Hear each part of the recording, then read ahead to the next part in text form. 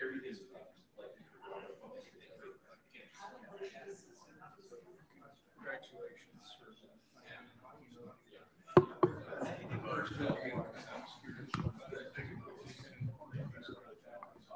just a while. Yeah.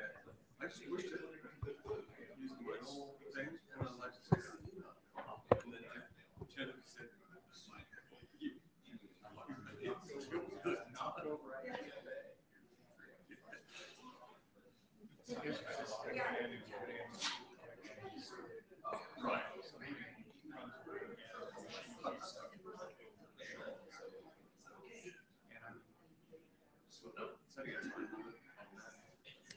Does anybody wish to be the designated note taker? Should I rephrase the question? There's not that many of you. And and three of you I know are doing presentations, so I can't depend on them for being the main people. Okay, I'll do it. Thank you, Phil. But only if I can get to the Wi-Fi. Okay. Yes, that, that's true. Please, everybody, do click on the little link to join Phil in the note taking uh, tool because then if you see something that Phil hasn't caught, you can go ahead and help him out. It would be much appreciated. All right. It's T plus one. T plus one is a good time to start. And I, I will give you warning that I am trying to keep an eye on Zulip in the chat, but um, please wave your hands frantically if I've missed something um, that needs my attention. Uh, so, welcome to IETF 117 and the RFC series working group. Oh, um, I am Pete Resnick, and I am only Pete Resnick because, in among the other things that your chairs have uh, uh, slipped on, one is we didn't notice that Ecker had a hard conflict for this session. So it, it's just little old me today. Um, we're really trying to get better, I swear. Here's the note well, the IETF note well. This is not per se an IETF session, but we will be following, it is part of the IETF meeting. We will be following the note well as far as please note that there are all sorts of policies and procedures having to do with IPR, having to do with code of conduct that you can find in these assorted documents that are noted at the bottom. By this time in the week, you should be well aware of them. If for some reason you are not, please do check these documents out um, and um, take care to follow the processes appropriately. Step out of the room if you need to. So, we have um, a, a loose agenda, even though it looks rather put together. This part is the administrivia.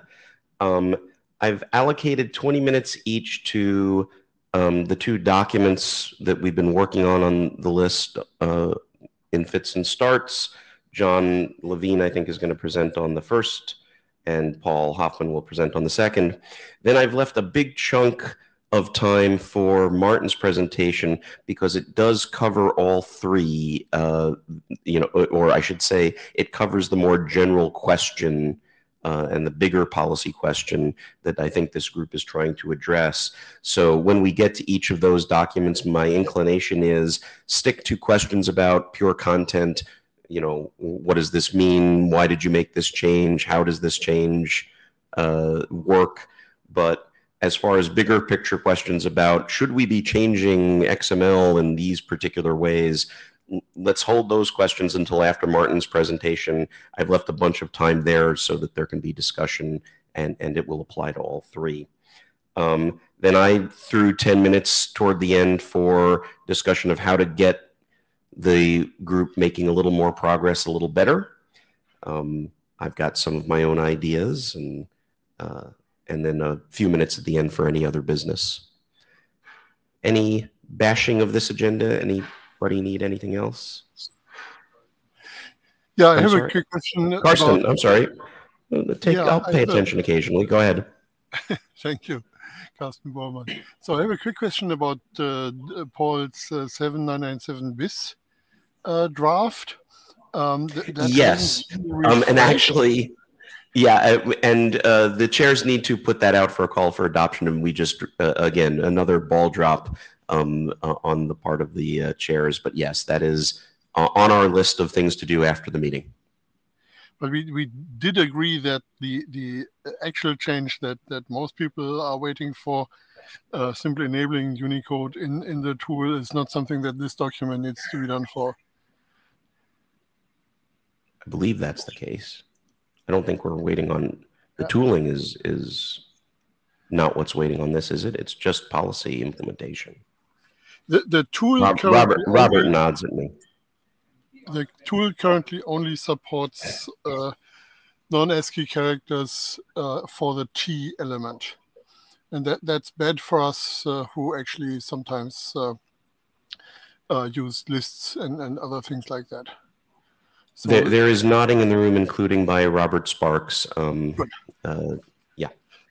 Uh, Thank you. If there's any further discussion, uh, we can do so on the list, but I think we're we're good to go there. thank you. All right. Any other agenda bashes? Things that we're going to need to talk about today? Moving along. Um, I guess this is John. Do you want to share the slides from your phone or uh, or do you want me to share them and and next slide, next slide, next slide? Excellent. I will do that. Let me stop sharing those. And let me make sure I know which ones are which. This is the as implemented or maybe 3.1 deck. Yes? Yeah. Okay. You're up. Yeah, those look, that, that looks familiar. Next, okay. So, um, back when I was, yeah. Back there. Um, back when I was sort of the RFC editor, um, one of the things I did was to attempt to document the, uh, the, the, the XML language that we actually use in RFCs. So RFC 7991, excuse me, defined the version three language. Um, and it says right in it that this is, you know, it basically says this is our best guess and it will probably evolve. And by golly, it did. Um, XML to RFC um, made some significant changes to it even before we started publishing anything. Um, and then once we then once we did start publishing stuff, there was another um, incremental set of, of of changes. Some of the changes were specifically in, in response to user requests, like the sort of stuff that Carsten just talked about. Some of it was for reasons that seemed more to have to do with implementations or people's personal preferences. Next, please. So yeah, so there's there was sort of two general kinds of changes. One are additions, um, stuff that's backwards compatible. Um, some are simply changes, stuff that's incompatible with what's in the, in the current document. but sorry. But anyway, since we started publishing RFCs, all the changes have been backwards compatible. The, cur- the current version of XML to RFC will, re- will, will render every published RFC. So for practical purposes, we're talking, you know, the, the current three, the, the current, whatever, the, the current 3.x that XML to RFC implements, we can consider that to be the language that all RFCs to date have been published in. I mean, the earlier ones didn't use some of the features that were added later, but the, but those features didn't break anything. Next. So there were a lot of what I call typesetting changes. Um, there is a there's a there's there's an, an unfixable there's an unfixable tension between people who want our XML to be purely semantic, simply to describe, um, you know, this this this is this is a diagram and this is a section, and people want to do typesetting is like I want to indent stuff by three spaces, and I want you know, and I want this to be bigger, and I want this to be in italics, and so um, the original language tended more towards the semantic side, and there's been a lot of additions to make to to allow more control over over the, the specific formatting. You know, an example is the the T element, which is for paragraphs. Um, now lets you put in a specific indent. You know, whereas before, if you wanted to do specific indents, you had to fake it with nested unnumbered lists, which everybody agreed was silly. So we added the so we added the indent, even though it's not entirely clear what it means to indent by three somethings when you have multiple output formats. Next, please. Um, there were also some actual semantic changes, um, which I will discuss in, in slightly more detail. Um, there's the always exciting postal element, which was added um, later. Um, there's the way the links are handled, and there's the way we handle Unicode. Next, please. So, um, what are the, we need to decide what we're, what, we're going to do. We need to mean we need to decide are are how many of these changes are we going to keep? And I think the answer is going to be most of them. Um, are there things that were that are clearly mistakes that we should back out? Are there things that we were that are mistakes that we should that we need to do in a different way? And are there things that we should be doing that we aren't doing yet? And I think there might even be a few of those. So if if if this sounds like I'm I'm proposing changes to the XML, yes, I am. But per the boss here, we'll we'll argue about those a little later. Next, please. So yeah, the the formatting changes are basically harm. You know, I, I'd say in some cases I have I have my doubts whether it's really whether it's it's really useful in our in our environment to try to have such perfect control over one format, even though it's not necessarily going to look as good in other formats, but it's there. I don't think it hurts anything. And there's a whole bunch of new elements. Um, and as far as I can tell, other than postal, I think they're all actually reasonable. Next, please. So here's some things that I think I think are actually done wrong. Um, and I'm going to go I'm going to go through them here, um, starting with postal. And there's a, some other odds and ends that I think people will recognize. So next, please. So the I talked to the guy who impl implemented postal, and he explained what his what his what his reasoning was, and I didn't understand it. So anyway, we have this very complicated way to put in postal addresses where you can put in the street and you can put in the city and you can put in the subregion and all this stuff. And the problem is that to format these, it requires to use it requires a library that somebody at Google wrote several years ago and abandoned, and it's out of date and it's and it's and it has it has mistakes in it, and there's endless pull requests that will never be never be updated. So that fortunately, all of the addresses we have so far have haven't run into these implementation bugs. But this is basically a time this, this is basically a time bomb. You know, this is depending on a library that that is already dead and is not going to get any better. And someday we're going to run into an address that uses um, if an address from somewhere in a in, in, a place where the library is wrong, and then we'll be stuck. So the way to fix it is actually simple. Next line, please. Which is simply say, you know, we're not the Universal Postal Union. An, an, an, address is simply a list of lines. So like his, this is, and this is actually a real address from an RFC. Um, so in this case, it's got, you know, the first line is the business park. The second one is the city and the postcode, because that turns out to be how you format stuff in India. And then there's the, the state. And then we leave country at the end because um, people have told me that it is useful to be able to go through and collect statistics on, on uh, what countries people are from. And I am not proposing that we have a master list of countries. We just do something reasonable. So this would require going through and basically formatting everything, running everything through the formatting code one last time and turning them into postal line. I know how to do this. It wouldn't be too hard. You have a question? You just, no, okay. All right. Next, please. Okay. This really, I think, is just a bug. Um, in the RFC element at the top, there is a doc name field in internet drafts, it is the name of the draft. Um, in RFCs, it is still the name of the draft, and I think that's just that was just an oversight. So um, several people have suggested to me that the document name in the RFC should be the RFC.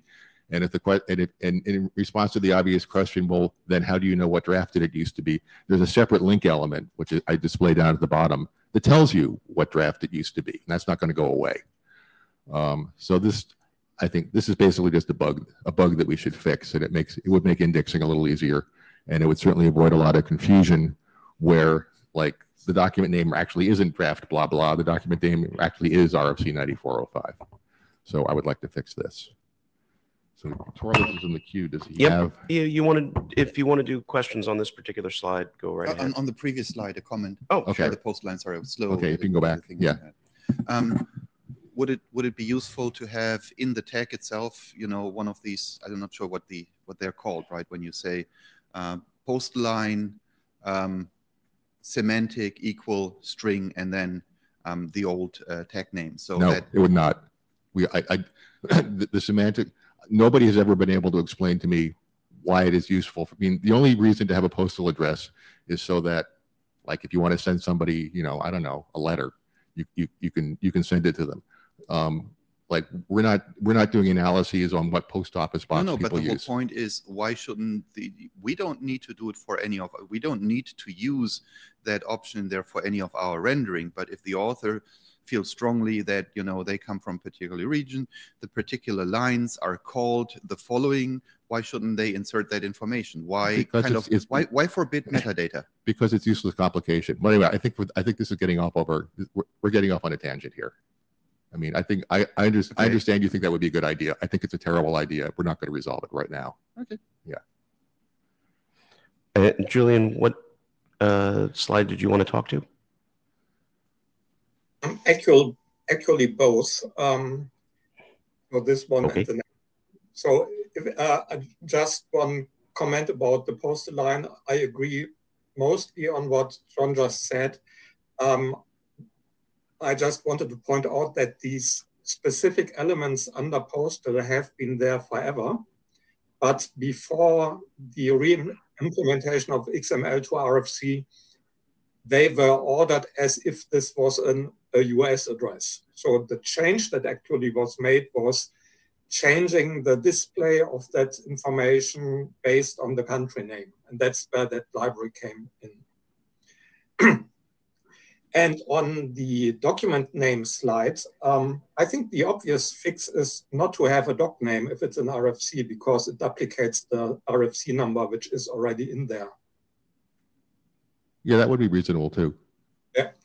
And with Yeah. respect to the link, um, I know that we, I think we say this is mandatory, but that doesn't make any sense because you can compute the link from the RFC number and data tracker will redirect you to the correct page. So it's completely pointless information.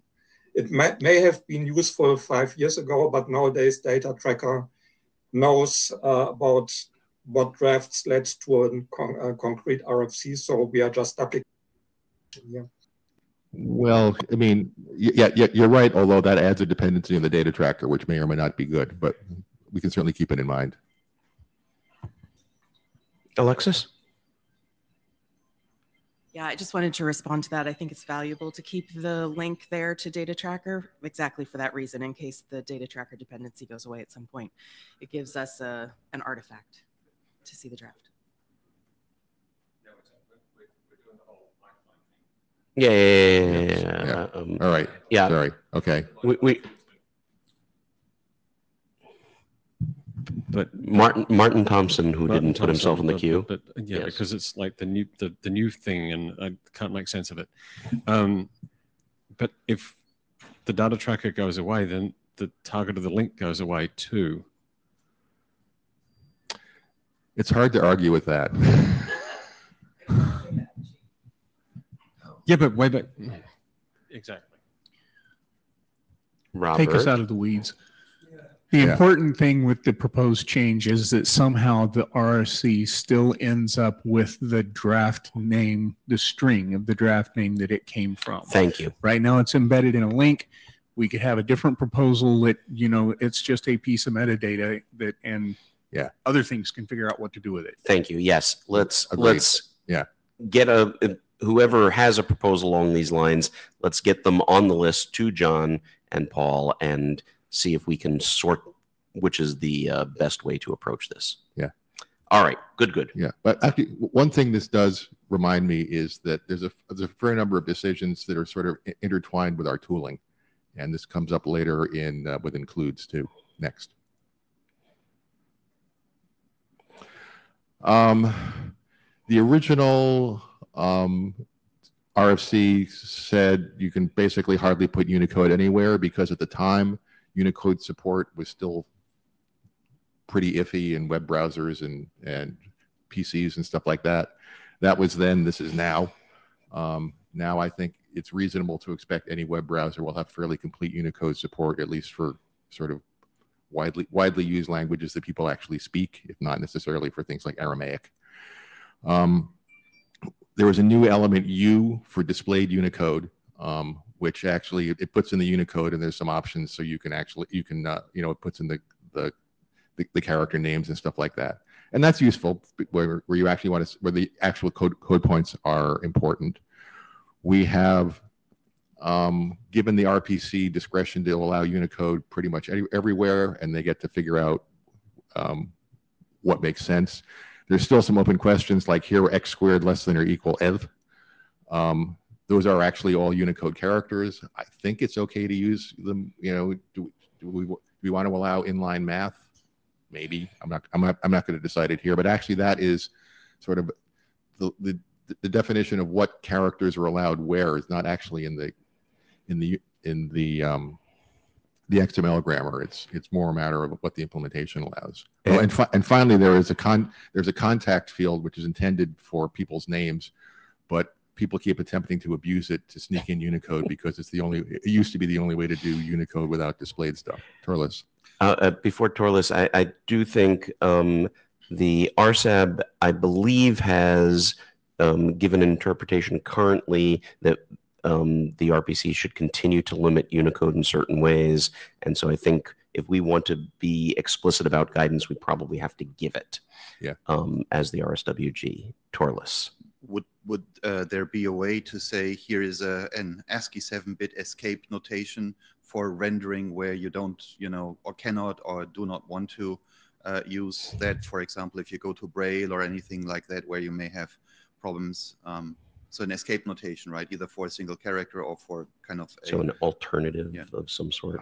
We, we have that in URLs and everything, right? So in, in, in terms of Well, is it for accessibility or is it for for? I, I think for- for- accessibility might be might be one of the reasons. Yeah, I, I- yeah, I think accessibility is an important issue, and it's way more complicated than this. So I think we should, you know, if, if we want, if we want to do something for with accessibility, I think we should do it with accessibility, and not just and not just try to do it one tiny hack at a time. I mean, for example, there's a big issue with accessibility of like if you have a line drawing, you know, you you know, there's no braille version of a line drawing. Right, Yeah. but just just just because there are more and more problems, why shouldn't we offer one simple solution for one uh, one simple option, which is you would like to have things look nice with um, you know specific things like formulas or other, and you of course also know some crappy ASCII 7-bit uh, alternative uh, uh, notation, and uh, because I- I- yeah, I think, I, I think one of the I- I think the short answer to your question is, and this is going to go a little to the discussion we have at the end, we're as a group supposed to sort of make broad policy um, and not just sort of um, implementation choices for the RPC. So I think if we can come up with something that looks like a policy that the RSAB can interpret and say, yes, we should have alternatives to text in this particular way. Um, we don't want to engineer in here. We want to make a policy statement about what we want, um, you know, uh, RFCs in the XML to look like. But I think this gets into the discussion we're going to have in a little bit. Um, Paul, Can we not do the mic line on this? This one in specific is the draft that you mentioned earlier that we, we are for- we are yeah. down to uh, two minutes left for this supposedly. So, um, yeah, Jay, quickly. Yeah, very very quickly. So I think we're conflating a couple of bits here. So the, the change that's come through the RSAB is that if you read um, 7997, um, what it says about Unicode, and compare it to the current implementation, the current implementation is overly restrictive. And so it, it goes beyond what 7997 says. And so what that's just been confirmed through the RSAB that that's the case. And so that over restriction is being removed. Okay. Um, but when we start talking about things like the, the maths and that kind of stuff, that's actually now going beyond 7997. And so that's the sort of hard line there where, you know, where the RSWG is involved and where it isn't involved, I think. Thanks, that helps. next. Um, Phil,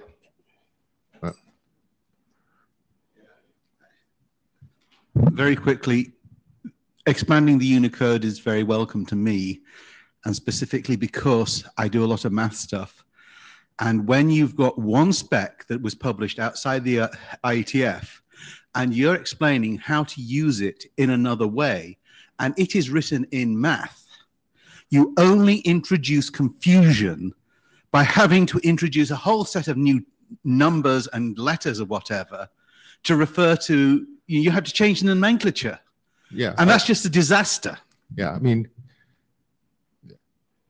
to, to try to only stick my foot a little bit into the tar pit. I mean, but by doing with, with, with inline Unicode, you can do, you know, you basically you can do this. You can do superscripts and lists and everything. If you want to do full math with, you know, integrals and, and stuff, for that for that you need SVG, you know, and that's that's a, that's another discussion. Next, please. Um, is another question is what to do about the prep tool. The it was it's pretty clear when when the prep tool was designed. The idea was that you would run the prep tool once. It would then um, annotate the uh, annotate the XML, and then you would then you would render the then you would you would render the, the that, that that prepped XML several times in, into multiple formats. Um, in fact, we only do that once when the RFC is actually published. Other than that, um, uh, the, the, the, way XML RFC is written, it, it basically does a prep and rendering in one in in one pass. You know, so you know, given that, is it useful to still have a, a separate prep tool? I think it is, and I think Robert's pointed this out. Is that it it it sort of nails things down so that rendering will be consistent, like the paragraph numbers won't change from one rendering to another. To make the prep to, for the benefit of the prep tool, there are a couple of new elements, like the TOC element, which is fine. It says here's a table of contents that was created by the prep tool. Um, unfortunately, another change is that there's a, to put the authors at the end, there's a quick hack that basically says, well, I'll, I'll, put it in a section, which means that you now you need to be able to put an author in a section so that although in practice authors only appear in this in the author section at the end, the grammar allows you to put an author in a section anywhere, which is ridiculous because that's not what authors are for. So I'm I think that's another thing we should fix just by adding like an author list element that only goes at the end. Um, and I think there are maybe some other minor issue. Oh, and and yeah, another next slide for the rest of the prep tool. Um, we're constantly discovering that users don't don't understand what the prep tool does. Julian suggested that XML has namespaces. It would be a good idea to put the elements that the prep tool creates into a separate prep tool namespace to make it clear like this is this is this is for these elements are for, are for for computers, not for human beings, and also make it easier to unprep stuff because you can simply strip those out and then sort of remove the remove the remove elements that have defaults where this explicit value is the same as the default, but things would make stuff a, lot easier. And there's also a question with our tools. You know, it's like prepping is actually kind of slow. So would it be worth fixing XML RFC so you could say prep it once and then render into two formats? I don't know. Might be. So, um, Eliot, and if you could quite quickly, although I, I think would I only have one or two slides. so Yeah, I think so too. Yeah. I, I would urge folks, uh, as Julian mentioned in the chat room, um, you know, uh, the comment was, I disagree with most of the slide, but we should probably take this to the, you know, issues list. Um, th- that would be a preferred way to do that, but please do uh, jump in, Eliot. Okay, so um, actually, uh, I'll make it even simpler. Pete, could you put a pin in these two slides for your later discussion and, and, and John, so that we bring them up as to an example of, you know, whether this is policy or implementation? And we don't have to discuss it now. I just want to put a pin in it for later. Okay. Thank you. Okay. Carsten? Yeah, I just someone was wrong on the microphone. Um, we do use author elements uh, in the back matter in the contributor section. Um, you don't know anything about the contributor section, but th that is added by kramdown RFC if you have a contributor. And uh, since author elements don't work there, we use the contact element, which is identical to the author element, uh, except that it's called contact.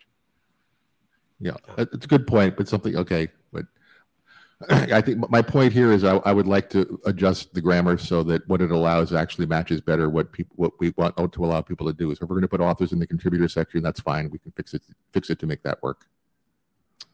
All okay, right, next. two more slides. Yeah, three more. Um, there's an overall issue that we've been scratching our head, heads about the way the there are pla- the, the rules about what what elements and contains what others what sub elements seems kind of arbitrary, and there are constant places that Carsten keeps reminding us of where you can allow an element is allowed in one context but not in another context. It seems like it should be the same, and and yeah, and uh, yeah, Peter and I were both both tried very hard to find time to see if we could r- rationalize this, and we and we haven't done it yet. So yeah, the concrete pr- proposals have been coming real soon now for a year. I think if we fix this, we'll basically allow more more things in more places, so the changes will be upward compatible, so they wouldn't be very painful. But it's it's also a place, but you know, we need to review, make sure we actually understand the semantics of why do we allow stuff where. And I think I got one more. Yeah, and there's odds and ends. Um, our rules for SVG don't work. Um, there, um, and there's a whole separate discussion about that. Um, the grammar um, contemplated bitmap artwork, we've never allowed it, but actually I think it might be it might be reasonable to allow it because you know you can you know embedded bitmaps and web pages do work. Um, the way the link the way the, the link was implemented is just different from what the spec says. We either need to fix the spec or fix the code. And there's also, and this is this is more the tooling, but how do includes work and like where where do they where do they find things? Because there's a lot yeah that's that's that's a whole can of worms so making making includes work. I don't know to what extent that would be in the grammar and to what extent that's nailing down stuff in the tools. And i think this is my last slide. Oh yeah. So what do we do? Um, I can put we can publish the draft more more or less as it is now that, that as a snapshot of what the code does now we can do we can clean stuff up to what we were happy with with a 3.1 and publish that. We could publish both or we could decide this is just a working document and not publish it and just leave it as a draft. And this really is my last slide. It is. Okay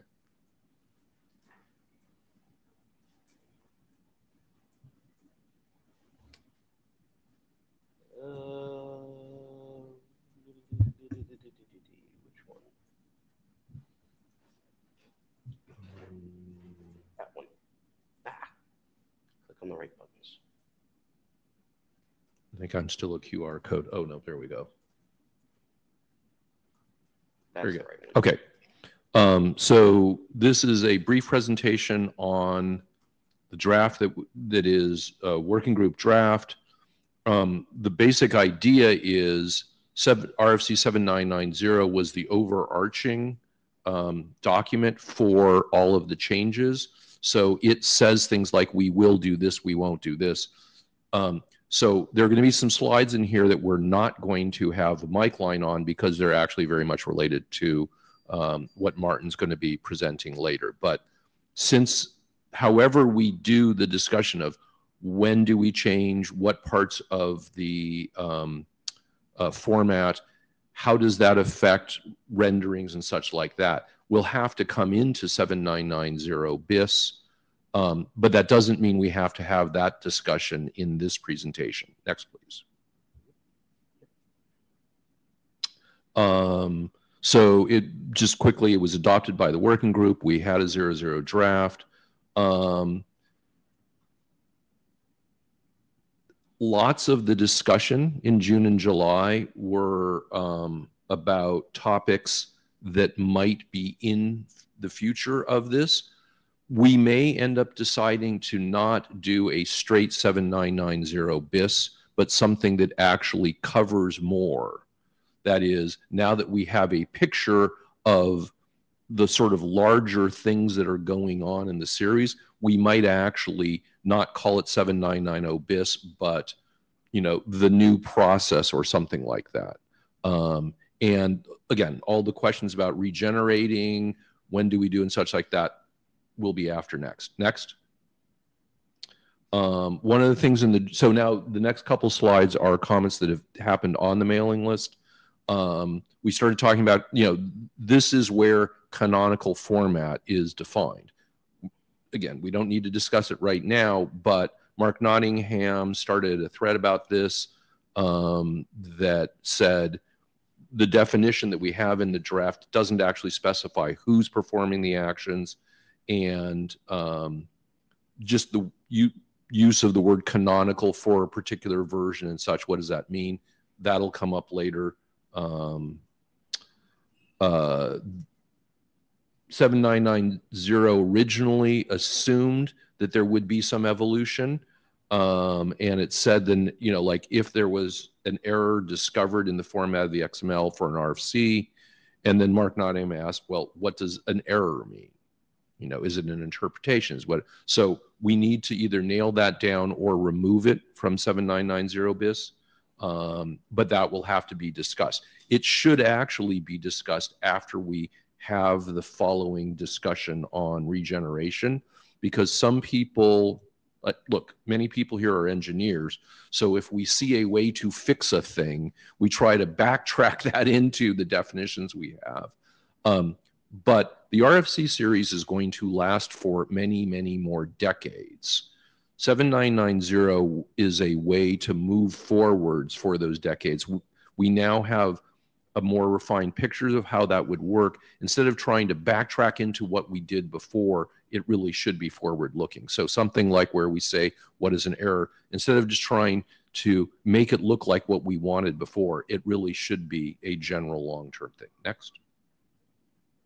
Um, so next steps is there should be more discussion. I should have said more discussion on the mailing list.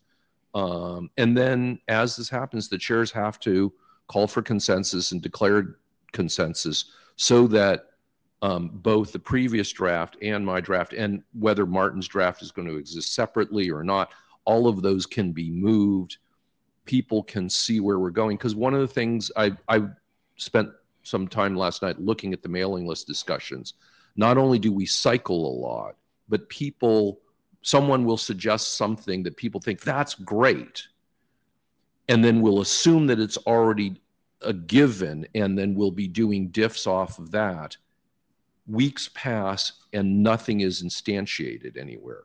A month passes and people come back looking at the draft and such. We need to actually get consensus put in drafts so that the discussion, because remember, many people in this discussion are thinking, I know what they're talking about because I've written RFCs for the last 30 years.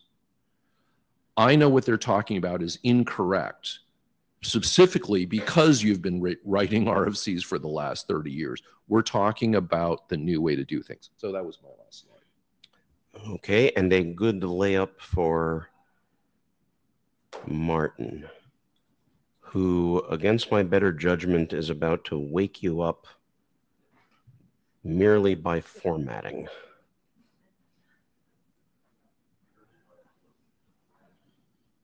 Ugh. If you can't do it well, do it really, really badly. That's how we operate here, right? Yeah, let's go. Go on. All right. So um, we've had a a lot of debate back and forth about what it is that can change and what can't change. And I'll probably get the terminology wrong here, and I apologize to Martin uh, in advance for that one. Uh, oh, oh, I will eat the mic. Okay. Um, so much better.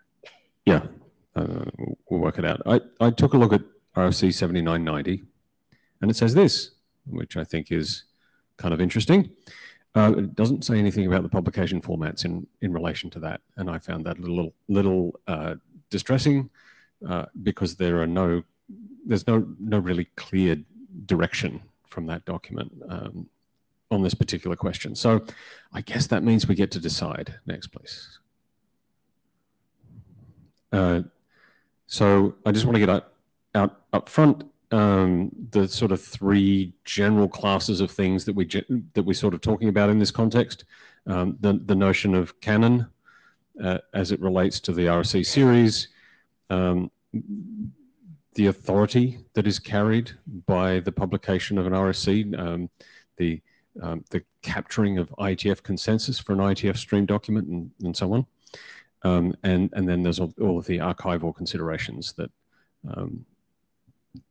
uh, relate to all of these things. So uh, I think we can probably have to knock off each one of these things as we go through the, the discussion here. Next. So um, in discussions about this particular point, I think a number of people have raised the, the concern, well, when, obviously to John's point earlier, uh, let's just start with the XML. Um, we can talk about the publication formats as a consequence of, of that. Um, it seems like it would be inevitable if we change XML that the publication formats would need to change as well. So um, let's start with the XML. Next, please. So in, in talking to a number of people in this one, I think there's a very important distinction to, to be had between the way in which the, the intent of the authors is expressed in XML and the intent itself.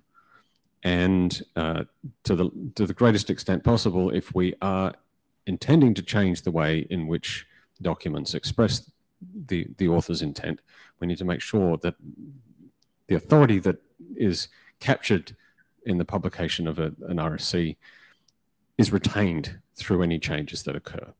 So if we go back and we change the address lines, we need to we need to be confident that those changes don't undermine the uh, the intent of, of the authors and the authority that that document captures as a result of, of it being published. So um, obviously the, the address line thing is probably easy. Uh, it's going to be a little challenging when we talk about TT elements or, or other things like that. Um, I, mentioned here we use XML specifically because it is a, a, very explicit way to, to capture semantics. And if we change it, we may also inadvertently change some of the author, authorial intent, or at least the uh, intent of the streams as they uh, published a document. On the other hand, syntax changes are a good thing potentially because it means that we can ensure that the syntax for RFCs is consistent across the series. Uh, one of the one of the things we've found to be quite difficult is already we're seeing some amount of divergence in the way that uh, XML is used across uh, across time because we're learning how to use it better or we're refining processes and um, that's that's good, but it means that anyone consuming the series now has to understand the plethora of different ways in which documents are expressed. And it, it would be better, I think, in my opinion, to have a consistent expression um, so that the, the semantics are clear throughout the series without having to, to know that this particular document was published with this particular set of sem uh, semantic meanings attached to the elements, and this one was um, published with a different set of semantic meanings attached to the elements. So um, there is that. Next, please. As I mentioned, not always clear. Um, so the document that I've published in the last two days, I think it was, I, I, wrote that during a working group session when I was trying to pay attention to other things, so there may be errors in there, um, says the future RSWG is is empowered to to change the the definition of the format. What John was talking about, and um, it also says that the RSWG can describe a process for changing existing published XML,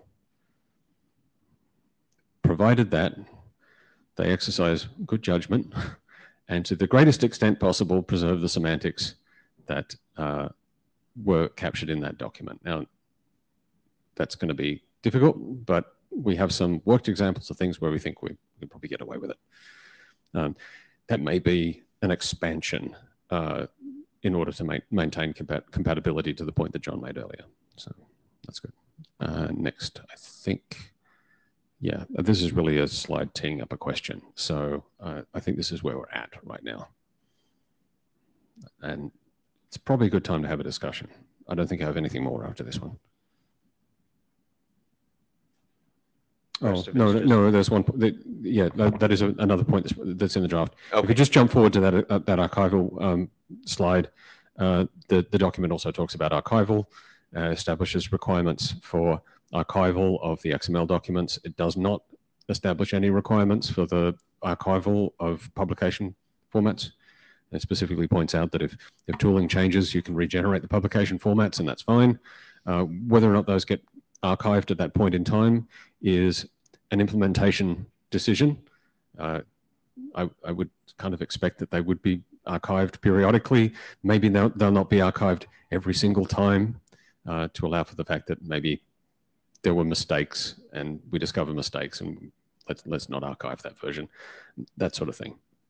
And but, there are two more slides. You want to go back one? Uh, yeah, let's let's look at the next one. I forget, I forget what. It, uh, Sorry. I forget where uh, it is. Oh yes. So the consequence of that is that you can generate them whenever, whenever deemed appropriate. Yeah, Robert likes this. Oh, and and um, this this is my backup slide. Um, unfortunately, the original this one had animations. Um, we can we can thank Meetecho for saving you from that one, but that that that that goes through some of the problems that exist in the the publication formats as a result of the the policy never to never to change them. So, Jay, take it away, Jay. I might jump in line rather than yeah, yeah. stand up here. That's fine. Um, thank you, Martin. So the key word for me in your presentation there was about was preserving. Um, I think that what we've always understood or what people understand is that anything that happens to an RFC has to preserve the original intent or the original, yeah, the original intent of when it was um, first written. Um, and I think if you start from that first principle, that is actually drives a number of things, um, not just what you're talking about there. It drives the um, the, the, the semantic bit that um, it's possible to enhance the XML, do things to the XML because they will not be changing the original intent. Okay. Um, the other thing that, which is my particular bugbear, is I is that we publish documents that we know are wrong, that we have somebody tell us they're wrong. We have verified it. We've gone through a thorough process that says we know that's wrong and we've documented the wrongness, but we still, you know, as errata, but we still publish that document. And to me, that is actually the opposite of preserving, uh, of the principle of preservation. Okay. And so if we start with that principle of preservation, I think it should lead us to the view that we should be adding the errata as well and regenerating those documents, including the XML, you know, in order to incorporate that those errata and working that way forwards that to me is providing correctness, maintaining the, the preservation. It is helping the people who actually implement it. Um, I think, you know, the, the, the, the immutability that we've got needs to be dissected and uh, a set of principles put in place to, re um, to replace it. The preservation is the, the good one to start off with, and then drive that sort of change down from that point onwards. So thanks, Martin.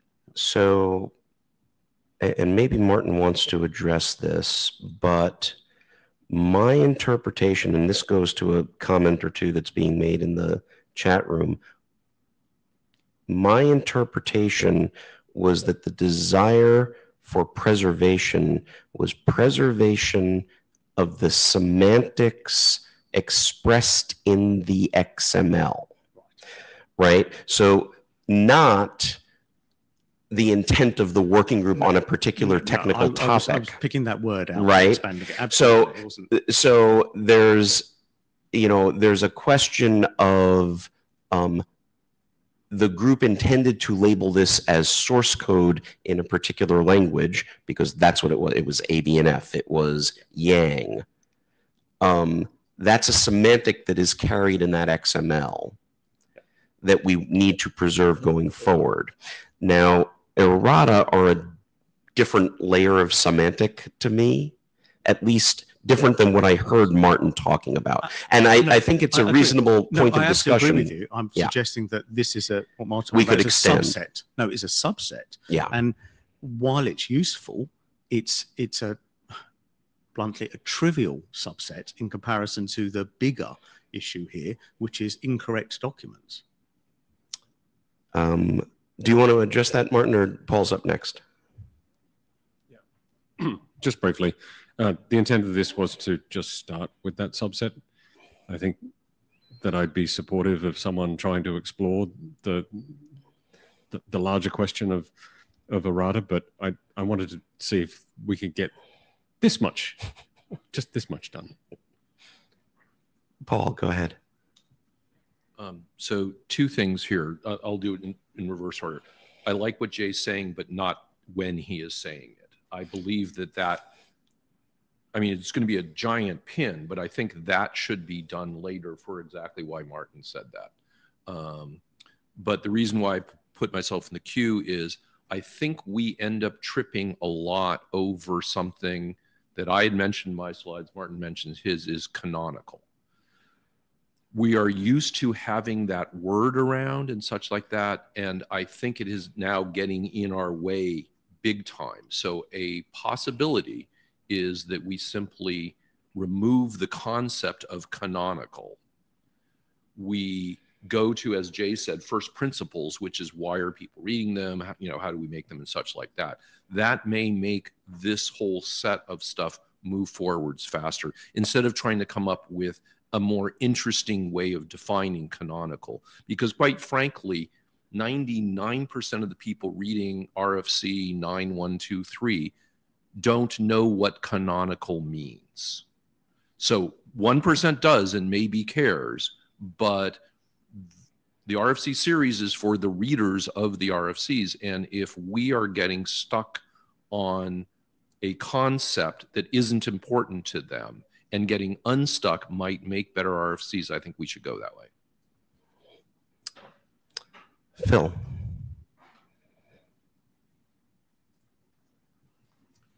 Uh, I agree mostly with what Jay was saying. Uh, just throwing out something that might upset folk, versioning. Mm. I mean, really, you've got the zero, the dot zero version of the uh, thing of, of, the RFC, which is when it was originally print, printed. I would very much like to be able to pull, pull up uh, RFCs with the errata included. But I also, in my expert witness thing, I need to be able to occasionally go back to what the, it originally said. And so I think that you need to capture both pieces of information. And the obvious way of doing that would be with um, a version number and if people want to have the purest originally printed, they can always go for the dot zero. And it would also allow us to do things like tweak the XML to meet some new criteria. You know, that would be a, a sort of errata. Uh, um, to reiterate on Paul's pin, and it keeps getting bigger and fatter. Um, there becomes an additional question here about where the line between presentation and canonical archival preserving semantic intent goes.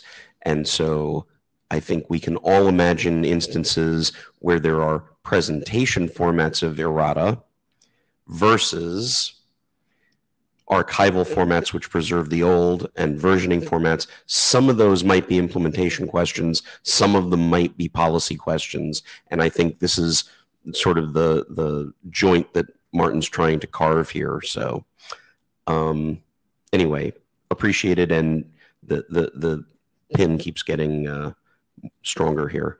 Uh, Carsten. I want to pick up on the, on the term intent once more. Um, I think the RFC series is a very special series because the point of the IETF, and I think pretty much all the other streams, is to run various consensus processes. So we have consensus about content and or consensus about fitness to publish. And actually, when you look at the documents, there is no intent. There is only consensus. I mean, except maybe for the absolutely simplest documents that were just written, accepted by everyone, and then published. But all technical development results in consensus and not in intent. you will never get the band back together that had the consensus. So, and any post facto changes will stay stay um, something like like uh, uh, scar on on that document. Uh, but I think that that's uh, not a big problem. We just have to uh, understand that this is the case. Um, and um, the other observation is the consensus is built around renderings, not around the source. So the, the XML source actually doesn't matter, which, which is, uh, when you think about it, a pretty surprising uh, revelation, but it, it's actually true when you follow this line of reasoning. All right, Martin, you are in the queue. Yeah, Martin Thomson. I'm going to disagree slightly, slightly with Carsten. I think uh, in a lot of cases we're we're building consensus around Markdown uh, rather than the the final artifact, um, which, which, is I think a, a, a very powerful tool. So um, that that's worth uh, worth talking through as well. Uh, I just wanted to sort of get up and highlight that that there are possibilities for things that we could change that I don't think affect authorial in, intent or even the uh, expression of um, uh, authority and agreement that's captured in a document. One of the things that I see the RPC routinely do is is fix line wrapping in various ways, and um, they do that using a particular set of tools. And we might find in, during the discussions here, we find uh, alternative ways of managing that and going back and retroactively uh, fixing those things would be an, an interesting option that that this change would would make it available to us. And i think that that's that's the sort of thing that i'm talking about in terms of changing the xml the other the other sort of thing is uh, taking an existing element that has uh, multiple different semantics as expressed through combinations of attributes and and defining that to use different elements instead. That would be another thing that we could do that I don't think changes the semantic intent of a document. So um, I just want to put some some of these examples out there as as possibilities. I see a lot of people in, in the chat saying, "Well, you can't change the document." Uh, I don't think in practice people agree to the the XML as Carsten said, and so we, we have some flexibility there. Eliot. This is a great conversation. Um, and thank you, Martin, uh, for, you know, you're, you're, never shy about, you know, taking on these big uh, questions and hitting the nail head on. Um, I, it's just really a, a, pleasure to, to participate in, in this sort of uh, discussion. I think, um, though, Paul really uh, articulated something that I think is worth exploring quite a bit, which is why do we need canonical anything? Um, and thinking of, I, and, and, and he got my head spinning right there. You know, if we think about the purpose of the series, principally it's around interoperability, right? We want to make sure that that interoperability is maintained. Um, and when we talk about canonical, from a reader's perspective, the thing you would like to avoid is a situation where you have the HTML version seemingly indicating one thing in an example or something like that. Perhaps it's you know a rendering problem, and PDF showing something else. Uh, just as a case in point. Um, at the end of the day, the question is: Is it you know we're not the UN right? Do we have to have a canonical format? Do we have to have an editorial committee like every UN function has that debates between the six UN languages to make sure that everything is equivalent? And um, and if there's a dispute, right, it's the French version, right? We don't we may not need that for our purposes. And I certainly I do not agree with you, Martin, that most developers and, and participants in the IETF uh, really get into the discussion of Markdown, I really do think it is the render format. And we could ask people what they think about that. But it also brings perhaps uh, forward another issue, which is what what we as the, the people who write the, these things use versus what people who read them use. And I don't want to go any further than that. I think this is a great conversation. Um, and I, I think it's a, a great a start of a great discussion that I think we'll have for a little while. Thanks. Alexis. Uh, I think it would be useful to look at redefining and considering whether we continue to use words like canonical and archival. I really would prefer to do that in the larger context of an archival policy document rather than trying to make that a gating factor for being able to make forward progress on this, the thing that we have in front of us, um, changing XML. From my perspective, the only thing we really need to consider before we say yes to this is uh, whether we prefer something like versioning versus dating files or something like that, like the the actual how are we going to preserve things. Um, I just I don't think we should make this a, this conversation a gating factor for whether we move forward. Good point. Thank you, Robert.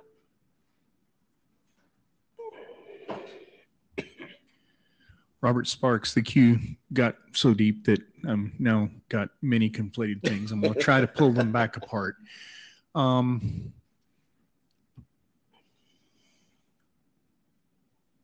anecdotes, republishing the rendered formats. If we discovered that for some reason we needed to change the fonts that we use in the PDF format in particular, because the fonts are embedded there. Um, being able to re-render backwards so that fonts were consistent across all of the, the things would be, you know, just consider that as a use case in line with what Martin called out with the underlying libraries change and we can change the way line breaks behave, right? Is more fodder for we should just be able to replace the rendered formats almost at will. So um, I will add a little bit of weight to the big pin on the wall around the errata. Sorry. Mm-hmm. Um, the inline errata rendering experiment that we ran on the text formats if you read the code and you read some of the results of what that code produces, you discover that the errata's content that we have is not always in a form that you can, even if approved, you can just go make a simple change to the document that retains the intended semantics of it. Right particularly when the errata is something that changes like ABNF or um, the many of them are not written in a before after kind of format so that they can be injected. So there's going to be a number of those where trying to present the here's what we really meant will wade very deeply into um, the question of whether or not it preserves the intent of the original publication The, or not. the reason there's a big giant pin in errata for me um, is I think exactly this issue, uh, um, opening up the question of whether errata ought to be applied in some way in presentation in, in the original. It opens up the question of the entire errata system now and how it's used. And I think it's an interesting question. It's one that we would have to drag the stream heads into, in, you know, and and a big broader audience. And it's a big, um, big hairy mess. Um, Jay, go ahead. I'll give you an optimism pill later. Um, so, um, uh, canonical is um, is a is a difficult word for us, isn't it? Because it does imply, as someone wrote on the list, that if you're not sure, that's the one that you go back to to check. And asking someone to go back to check XML is um, perhaps not that user friendly. Um, what it actually is, is the source file. Um, because we know that all of the other representations are generated from that source file. We know that some of the repre representations cannot include everything that is in the source file. Um, and we know that some of those representations sometimes are wrong um, because they've unintentionally um, missed out or um, uh, somehow messed up something from the source file. So that's probably the better way forward for us to think about it is source. Now, I don't know what that means for canonical in terms of where people go to understand what is the definitive one that they need to, to read, um, should there be a difference between the two of them. But it, it does imply that the process, if there's a difference, is to regenerate from the source as necessary to ensure that there is no difference. You know, um, that the, the, second point was about Martin's point about consensus. Um, we actually have um, two formats now. Um, we have an authoring format and we have a publication format. And if you look at um, Martin's example, we're extending the authoring format to not just be one version of the XML, but also to be Markdown as well. Um, and I don't think we are ever going to get past that issue of the boundary of consensus um, between the um, authoring format and the publication format, so long as we have two separate formats in that way. And I, I, personally think we should carry on with those two separate formats because there are a number of reasons for them.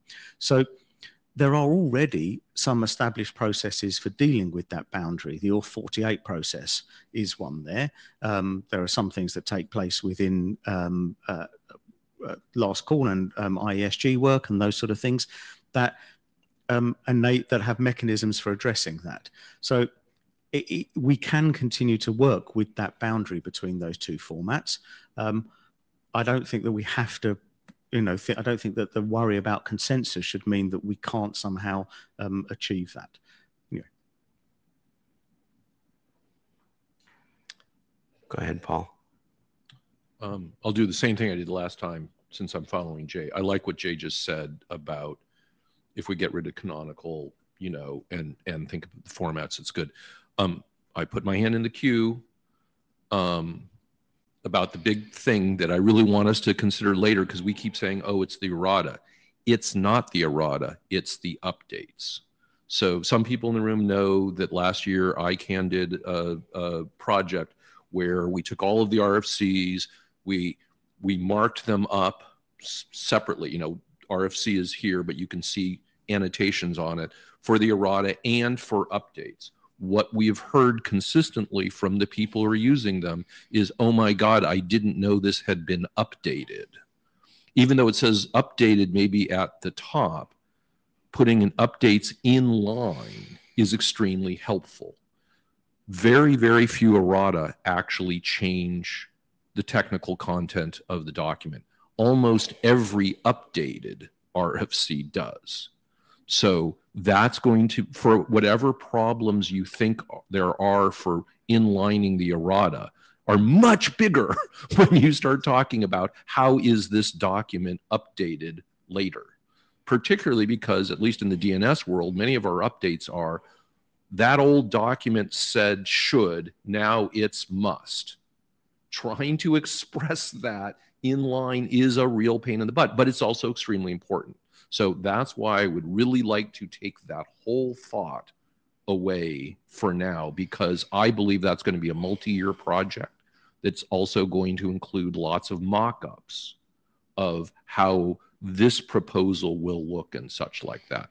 And we've got plenty right here to come to consensus on for how are we going to at least let the RFCs change Eh, I'm sorry, how to let an RFC change when someone goes to the RFC editor's website and such like that. So your suggestion, um, uh, I'm just trying to get my head around clarity here. Um, you would prefer not to go down the path that Jay suggests going down and put aside errata with updates with everything else and focus in on the smaller what can be updated in the XML Yes. For now. Because the what can be updated in the XML for now leads to the questions that Martin asked, the bright green, orange, yellow questions here of can you then can you then um, take that change and get it published in a place that people can see. Once we get a feeling for that and how that happens, then when we know that, that we're going to hit the big peg later with other ones, then we will have a better feeling for did the world melt down? Uh, because I believe it won't, but there are people who feel, you know, and have said on the list, everyone expects them to stay the same. I don't think that's true. And if we can start changing them a bit and we don't hear any squawking, then I think we're better off. All right. Thank you. Martin.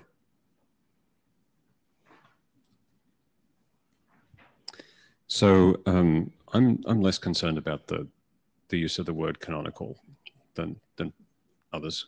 Um, to me, it it simply means this is the thing that you get when you type in RFC ABCD, you know, nine thousand or whatever it is. Um, that's the thing that was that was used to to render the thing that you're seeing, because ultimately no one's looking at XML anyway. Uh, I, I think that's still a useful concept to have. Eliot.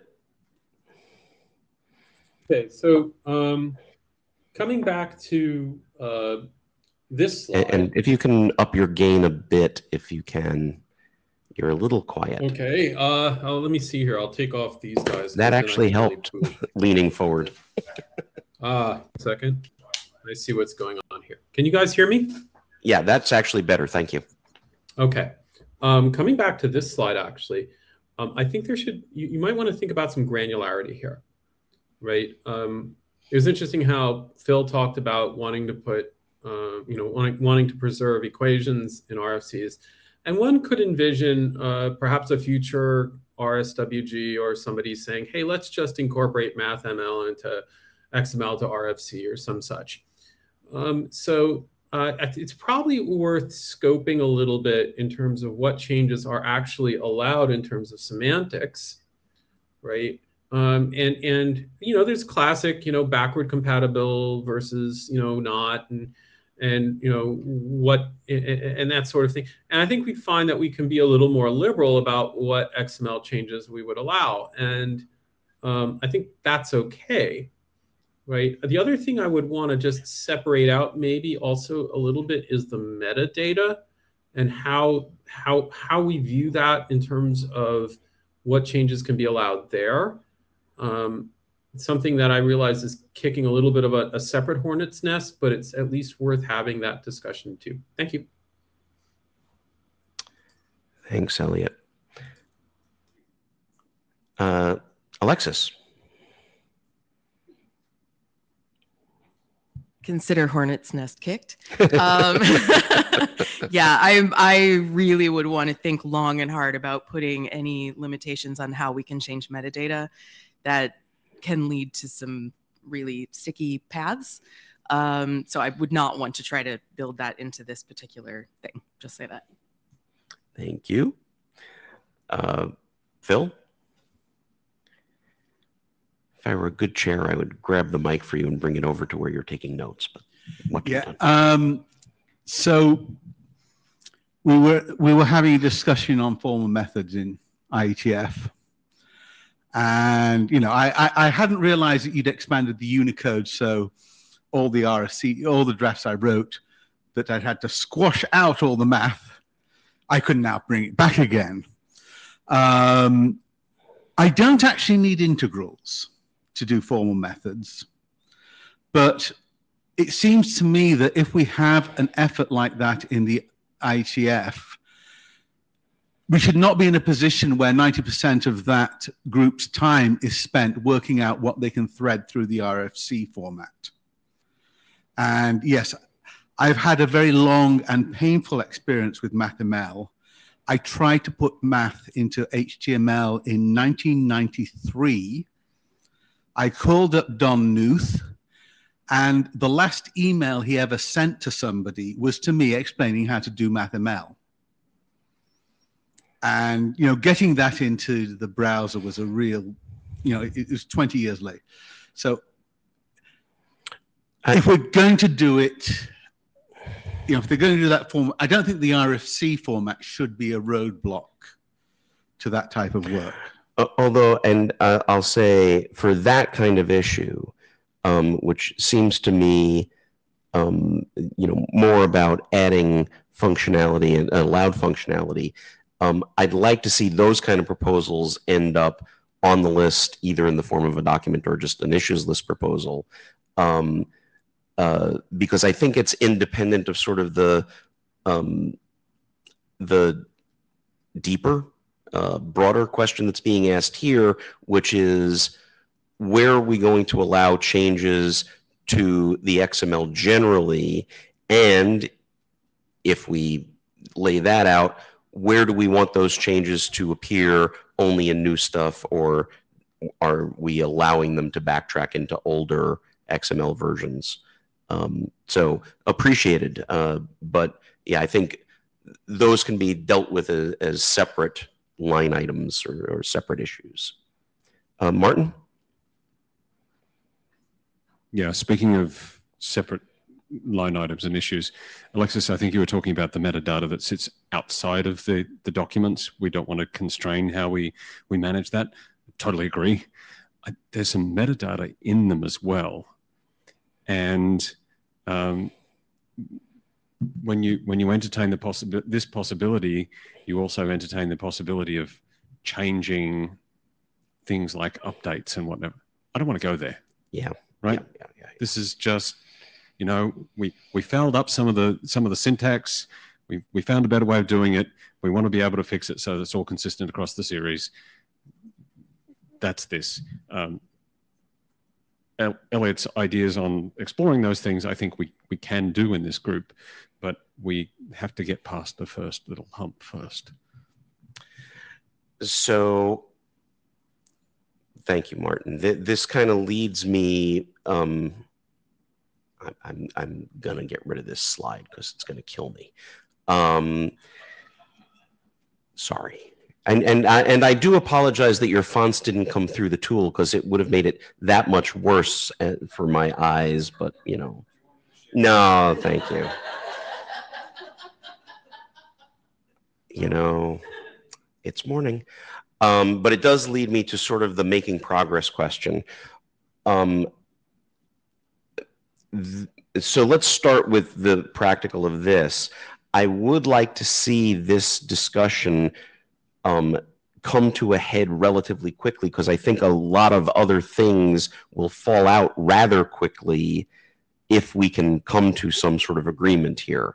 Um, unfortunately, the the discussion here seemed to diverge and uh, um, converge repeatedly. Um, so, Martin, do you think that your draft could be made into something that was not just prepared during another working group meeting within the next couple of weeks? Uh, it's the sorts of things I'm hearing people complaining about, like the really fine details of just how close we get to must not. Right. In terms of the semantic thing, uh, that's something that we'll have to have to negotiate. I think. Yeah. I, have had a conversation with Joel Halpern, who's not here, I don't think, um, and he's noodling on just how we can Where phrase it so we can make it very clear exactly what our intent is in terms of the policy.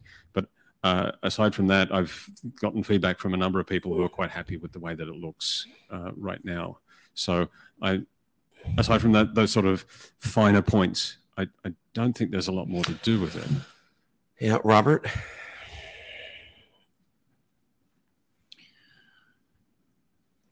So the number of finer points I think are probably innumerable. I think from the conversation here, you, you could like maybe knock them up as issues on your repo and we can just If you would turn the mic into you or you into the mic. Yeah.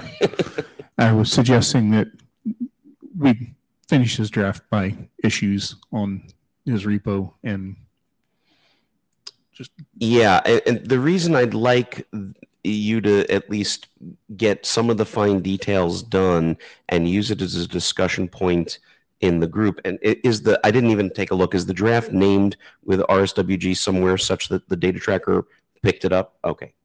Um I I'd kind of like to get immediate discussion in the next few weeks on where we think we're going and see if we can come to some consensus around the direction because I do think it changes what will be acceptable changes in XML format. Um, you know, what will what we or maybe we want to separate it into two and say these are changes for future going stuff these are changes for backward looking stuff i, I don't know what the result's going to be but it seems to me that getting consensus on this in the group and getting our heads around it is important. Um, paul did you want to make a comment? And then robert. So i hate to say this but people always pay more attention when it's a working group document. So I propose that that Martin's document becomes a working group document in its current form almost immediately, simply so that people don't say later, "Oh, I didn't know if we were really discussing." Just to make it a target of a discussion, not Absolutely. necessarily published uh, in any finite time. Um, thanks, uh, Robert. Can we have an interim in early September to finish? it? Yeah, that's that was the other thing I was going to get to. Um, uh, you know, I think by way of making progress, we've got to converge on issues like this relatively quickly. And that doesn't seem to happen unless we are face to face, because some of the things, even that you know, John and Paul went over, were things that are kind of outstanding and really haven't been discussed on the list for a long time. Um, and getting this nailed down seems really useful. Um, so I would like to entertain the idea of an interim.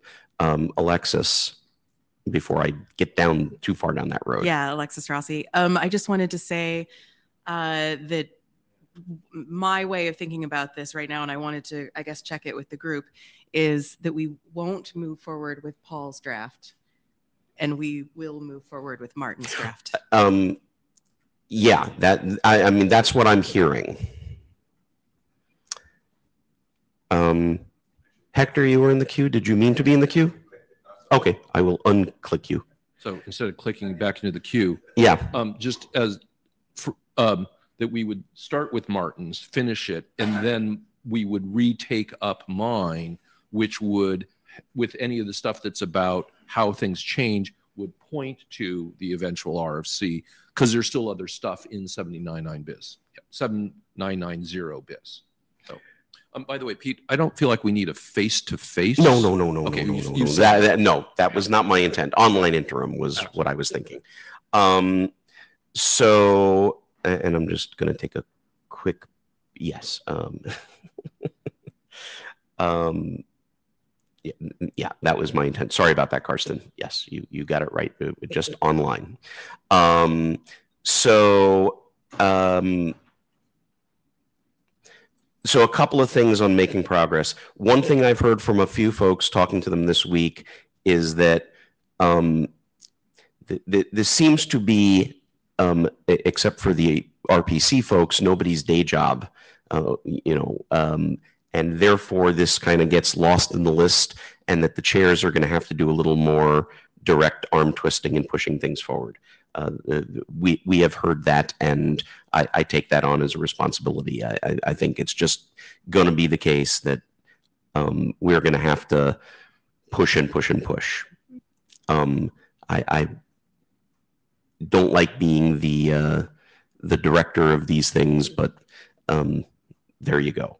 Um, I think doing online interims is going to be necessary. The other thing that I heard from, um, I think it was Adrian Farrel, um, you know, we are against a bunch of technical groups schedule wise when we do these things in person. Um, I don't know if it's even possible or how people feel about it. I know that, for instance, um, was it uh, uh, one of the IAB programs had an 8:30 in the morning meeting um, during IETF week so that it did not conflict with something else. Um, I don't know if we can find non-conflict time during meeting weeks. Robert's giving me a grumpy thumbs down. Um, but I, you know, part of it, part of the question is, do we have enough of you know the people we want in the room when we're doing these things in person? It's not clear that we do, but um, maybe that's just we're stuck with that, and we can just hope for the best that we're not going to be on top of area working groups or something like that. Paul? So we have very few people in the room. We have lots and lots happening on the list. this is one of those working groups where, in fact, the face to face meetings don't have to be as important as the list. Fair enough. I, I think, you know, my concern is for issues like uh, your and Martin's documents that these are tricky, gnarly things to discuss in email um, it, just because it will take a lot of email messages. Um, so I would like to at least get some uh, interims going. Eliot, you had a comment? Yeah, this is um, just uh, from from the perspective of having had those interims when we were developing uh, the, the, A little louder, Eliot. Sorry, uh, this is just from the perspective of having chaired the group when we were developing the model. Um, if you're planning one interim, my suggestion is that you plan two uh, so that you can handle time zone uh, pain and such. Yeah, no, uh, appreciated. I, I will uh, think in those terms. Um, Phil? Contributing to your steps today. Yeah, just, just to squash that idea that you had about uh, meeting off schedule, whatever, it occurs to me that uh, some of the people who are most vocal on the list are people who are not coming to IETFs at all anymore. Oh, yeah, well, there's that too. All right, it was a thought. Um, uh, I'm, I'm, I'm, I'm hearing the pushback. Uh, so, um, but by way of saying, I've heard these things that I can do to try and force progress forward. Are there other things that people think are necessary to get us moving more quickly? Um, you know, I, I've got chair tasks to take on for sure. Are there other suggestions that people have, Alexis? Uh, so there was a convert, Alexis Rossi.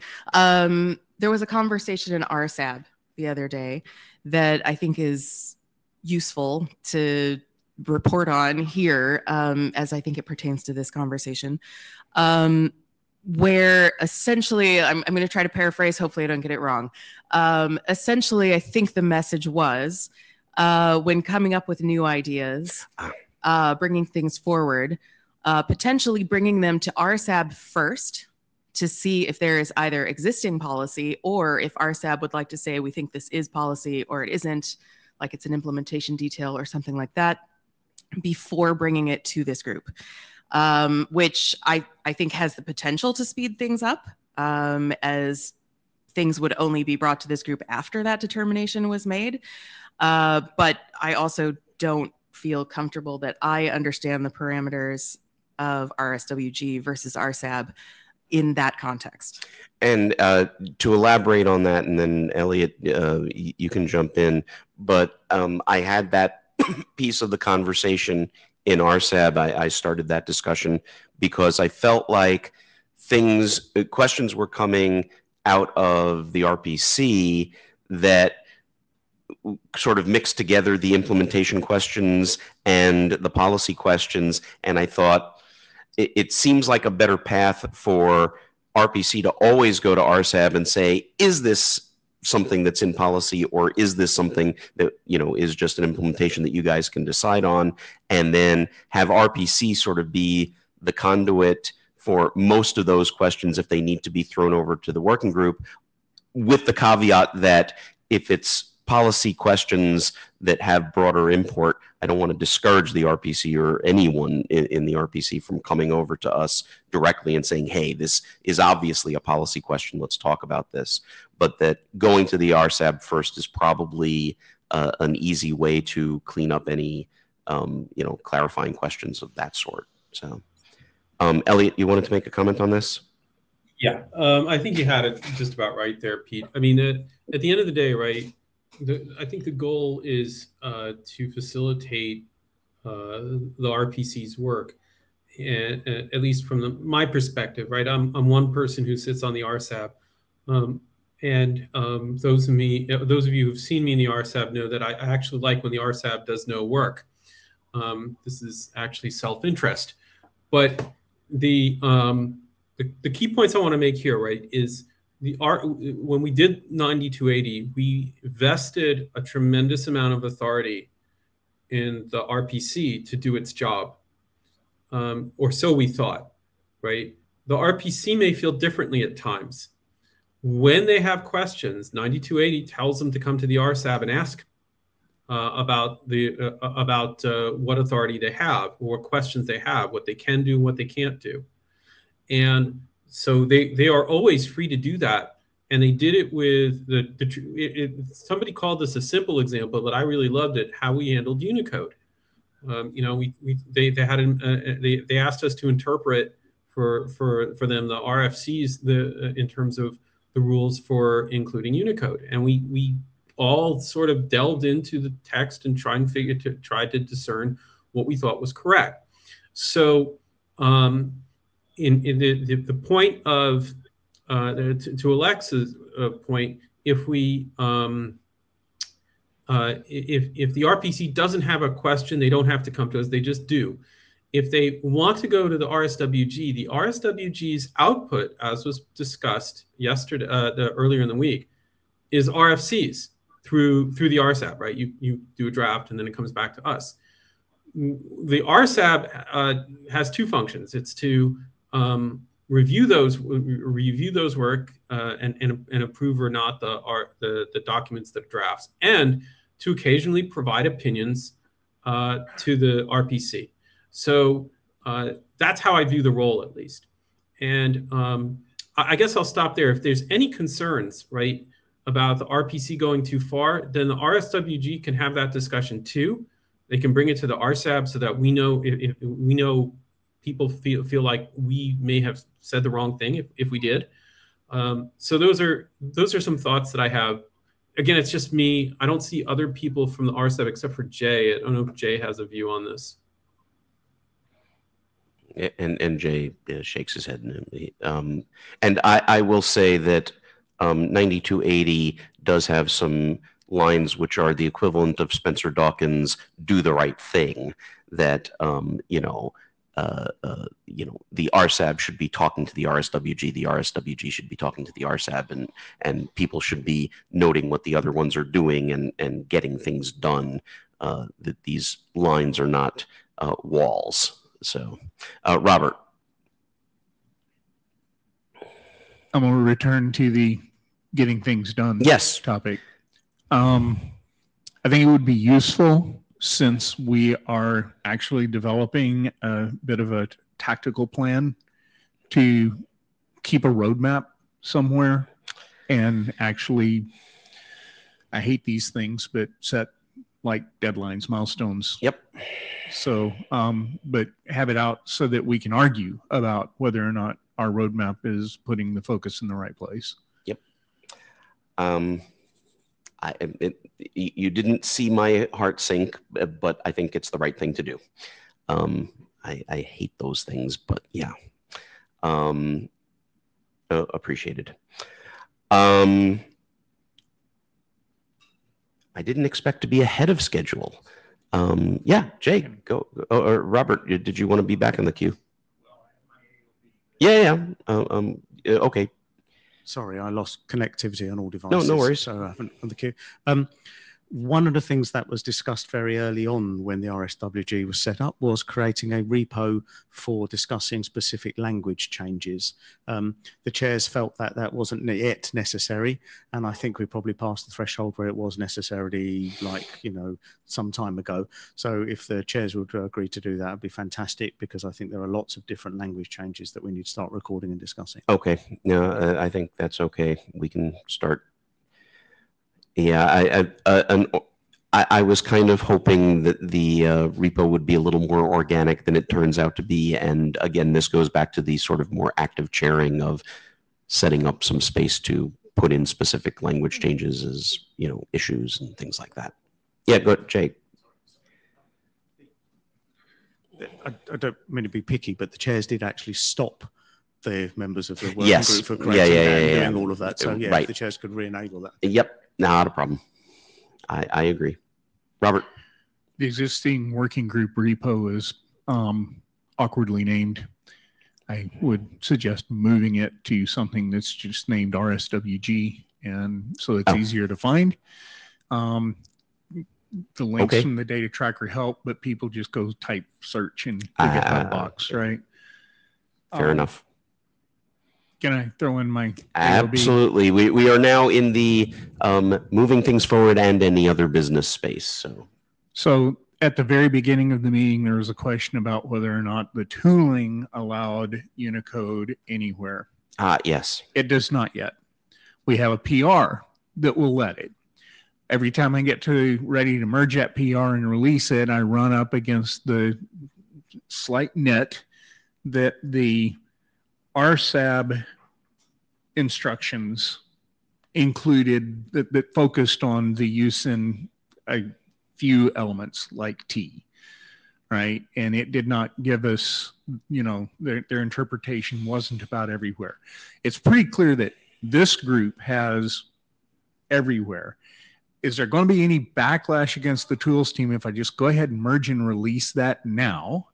And should this group push something forward? And do we have a tool to do it through anything less weighty than an RFC?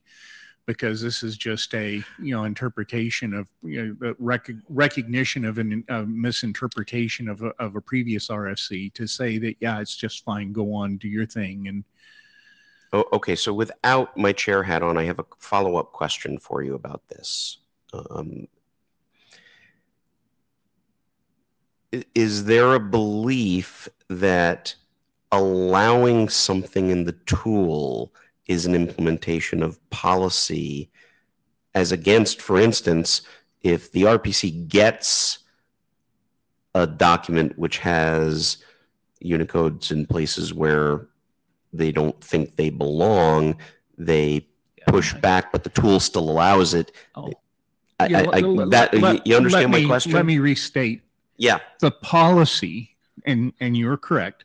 The policy is what actually gets out into the um, RFCs, and it's the RFC editor's choice to enforce the policy on. You know, while that piece of Unicode is just really not a great thing to do, it's not the tool's job to be restrictive.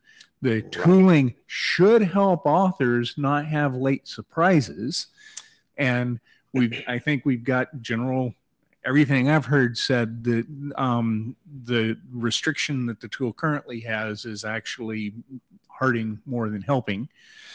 So um, I'd just like to free the tool, let the tool move forward, but I do think that there is still a, uh, uh, or I would ask if there is a artifact that needs to be laid down in some way to reinforce that this is a humans at the RPC's determination to make.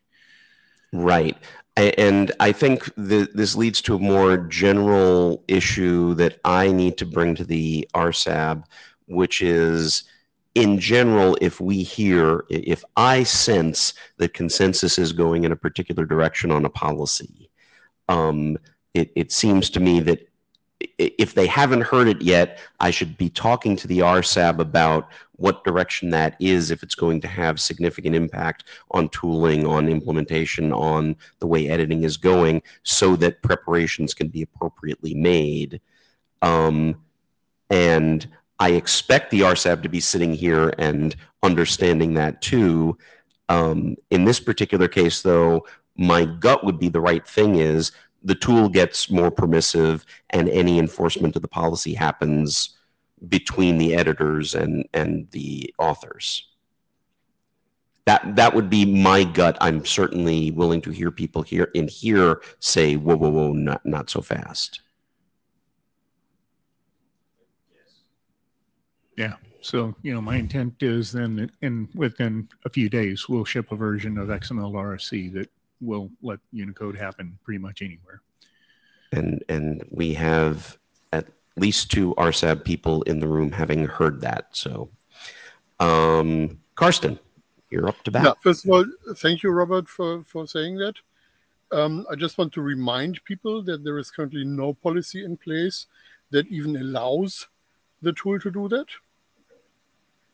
Um, on the other hand, it, it certainly was uh, a useful thing to have during the first uh, almost five years of, of using RFC XMLv3, shielding the RPC from interpreting what exactly RFC 7997 says.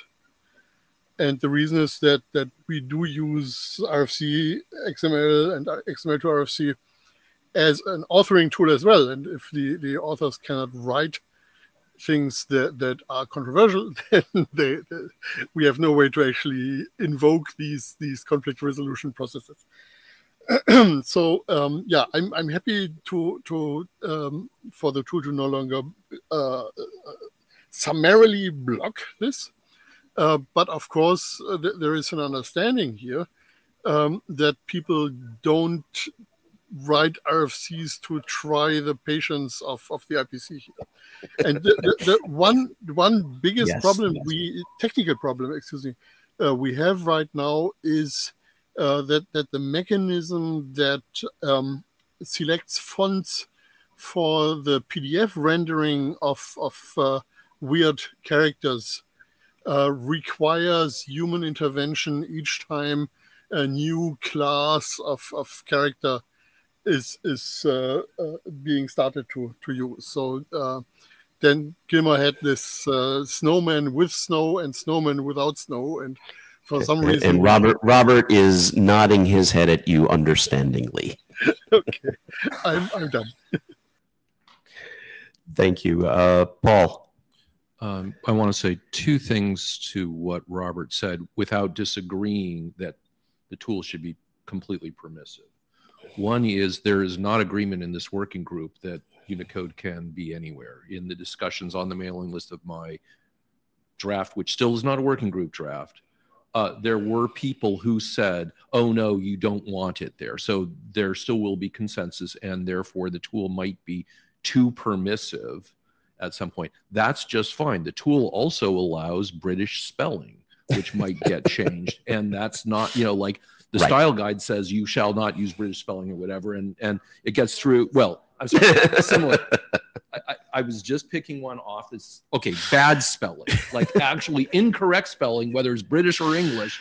You know, there is spelled T H E I R or I, you know, whatever. The tool allows that. And right. that's just fine. We know that the RPC will use its judgment on spelling and such like that. That's really important because, quite frankly, I believe from having seen the previous discussion, we are not going to allow Unicode anywhere, even though I personally would like to, to see it everywhere.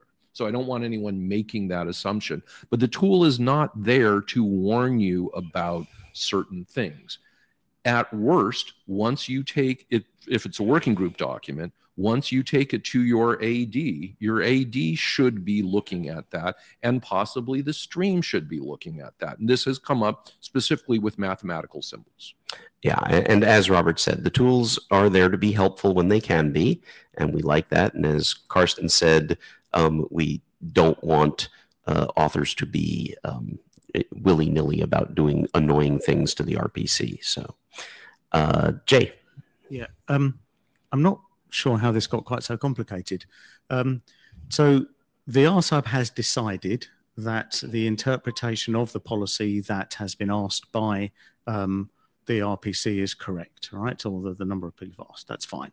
Um, the, the, the tool will allow Unicode anywhere, that's fine, but it is that the style guide and RFC 7997 put limits on how it can be used in RFCs. And so, you know, as Paul said, yes, the, the, the, the tool allows bad spelling, but the, you know, thankfully the RPC don't.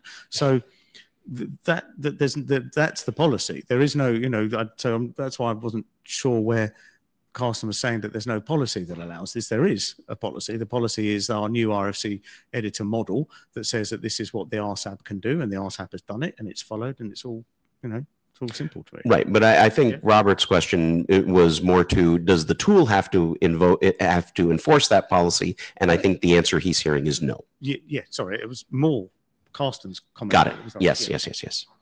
Thank you, Jay. Um, Phil. Yeah, I was just going to say that if people like the Formal Methods group do come up with uh, peculiar ideas, one of the things that could be an output from that working group would be, hey, this is what we need you to do, and this is how we can do it, and here's a formal specification for, Right. you know. And I think Paul's point about this may also be stream by stream. You're going to have to ask the question, um, what do you need? What what kinds of output is going to be reasonable? Um, so yeah, thank you, Carsten. Yeah, I would like to point out that uh, whoever wrote 7997 didn't think about other streams than the IETF stream. Mm. So um, everything in, in 7997 that restricts the, the uh, use of characters is based on an interoperability uh, concept. Now, in, in the IRTF, we don't care about interoperability. We care about getting people to publish things. And I have heard more than once in the IRTF that people cannot really publish in, in the, the RFC series because it's too much pain uh, to get the, the uh, documents done with the current situation. And the current situation not only includes Unicode, there's also an SVG problem, which we will address in time. Um, but I think we, we have to consider that, that different streams have different requirements here. I Appreciate that. Thank you. Uh, Eliot. Yeah, but just very briefly, um, uh, yeah, I'm, I'm, I'm part of the RSAB and I'm here. Um, I, I agree with Jay's interpretation of what we said. I don't see any problem with uh, Robert removing uh, or the tooling team removing restrictions in terms of uh, what what XML R, xml2rfc generates. It does not remove the strictures uh, in the various RFCs that uh, require that that prohibit um, Unicode in certain cases. So um, I'll just leave it at that. We don't have anything else before us, and I don't want to get ahead of you know anything else that was said in that regard. Thanks. All right. Um, we still have 14 minutes left, and I'm happy to give them to you for lunch if you want them. Going once, going twice. Hope to see you on an interim online meeting soon. I'll post things to the list. Oh, Thank Carsten, you. did you want to jump in? No, I just wanted to say thank you for running this meeting. This was very Oh, my pleasure. Cheers. Yeah, I was going to add the same thing, Pete. Uh, good job.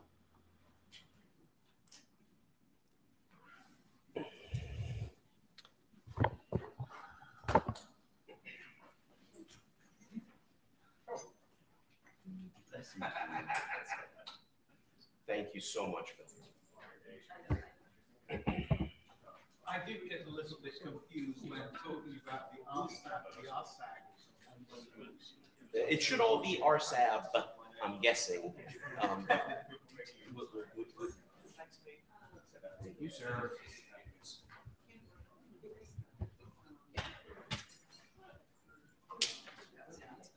Yeah, that, that, that acronym and people mess up that one more than I thought. There was an RS, and, but I've heard, R, you know, RSB and RBAS and, and people just don't, yeah. Who got that one?